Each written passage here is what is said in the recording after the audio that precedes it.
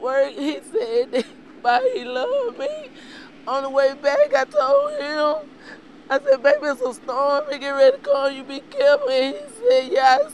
That was the last time Sharetta Zachary saw her boyfriend alive. Lineville police say around 3 o'clock, a driver who hasn't been identified collided with a tree on Martha Street that came down during the storm. We lost somebody special in our neighborhood. James Smith says the car ended up in a ditch next to his home. Every day when I come open my basement, um, this is in my mind.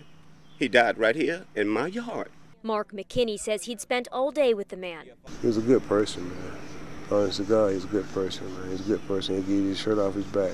Friends say the victim was almost home from work when this happened, and now they'd like to plan a memorial for him. In Lineville, Aaron Kelly, WVTM 13. A tree also came